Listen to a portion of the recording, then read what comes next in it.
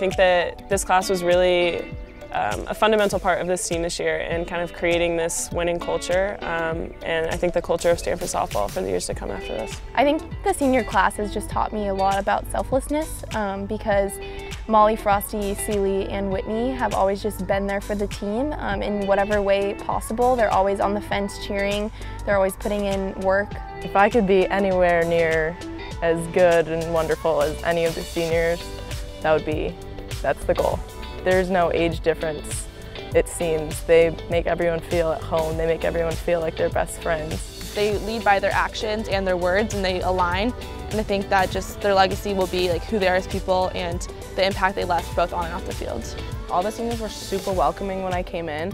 Um, I'm really close with uh, all of them, especially Molly and Frosty. Uh, they're very they're very funny. We all have like similar humor. All of them collectively have such a calming presence and me and my class definitely get very stressed out um, about all the little things and they help calm us down. They, on the field, have really done a good job of just getting us as a group and playing Stanford softball and not, not trying to be anything that we aren't and really embodying um, what it means to be and be a part of the whole Stanford legacy. Their willingness to show up each day and work as hard as they possibly can is sets the tone for our entire team and it really makes the rest of the team want to be have that same sort of motivation. They all have traits of resiliency and they just they all are very level. They just keep working and they all trust that it's going to work out. I've seen them grow throughout these past few years and so showing their ability to learn has given us something to look up to and something to aspire to be.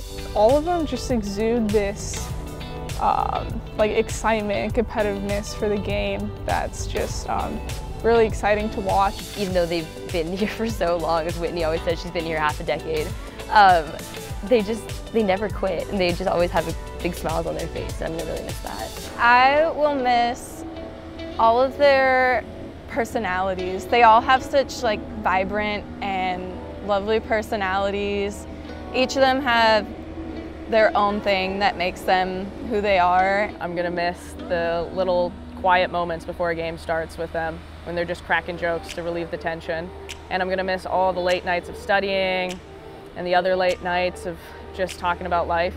They have been uh, the most influential people in my life these past couple years and it's gonna be hard to let them go. All four of the seniors over these last couple years have just exhibited what it means to have a heart for the sport, um, but more importantly what it looks like to have a heart for those around us. Um, their work ethic on and off the field is something that's so special and so beautiful, and it's really awesome to have those seniors to look up to as our role models. I hope that people, you know, when they remember our senior class, that they always felt welcomed and that they felt supported. Um, I think that that's something that is really important, especially in the older classes, is to, you know, really take care of everybody around you. Um, and I hope that that's something that they felt and that they felt welcomed within the program and that, you know, they, they, that we were somebody that they could look up to um, to go out there and, and whatever they needed that we would be able to help give it to them.